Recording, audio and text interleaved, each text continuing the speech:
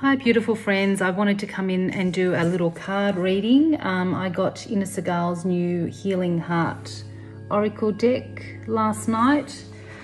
Okay, so um, this deck is um, has been written um, by Inna as she was going through um, a difficult time a couple of years ago. So she wrote, oh, one's already fallen out, love letters to her heart um, and then created them into an oracle card deck. So the one that fell out is, um, I'm not sure if you can see the writing there, but it's it says hurt heart.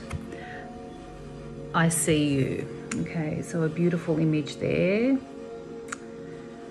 Um, okay, so I'll just get the book and have a read.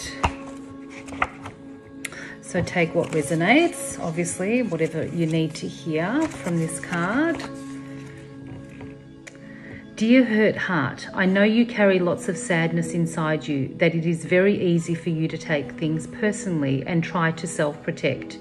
You feel so scared, little, and vulnerable inside that you have needed an armour of spikes to protect you.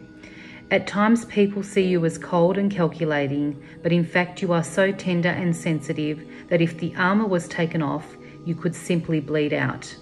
I know this is not necessarily how you started, but all the rejection, humiliation, neglect, and cruelty have deeply wounded you. I see you, I feel your pain is deep. I know there are many cuts and scars all over your heart, and that you have been hurt and you have hurt, but it is a vicious cycle. Now is an opportunity to look back on the hurt heart story.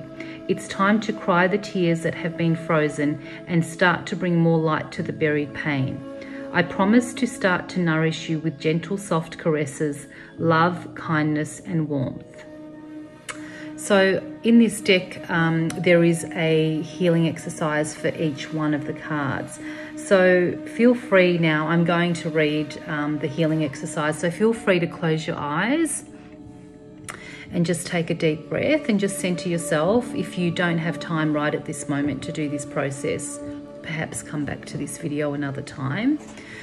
Okay, so imagine taking out this hurt part of your heart and holding it in your hands.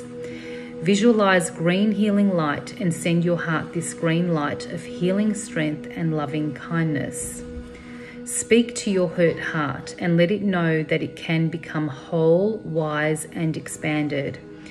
Visualize taking out any symbolic spikes representing the hurt it has suffered and place them into an imaginary purple fire with the intention of letting go of old pain. Then send your heart emerald green energy with the intention of rejuvenating it. Place this energetic heart that has received healing energy back into your heart.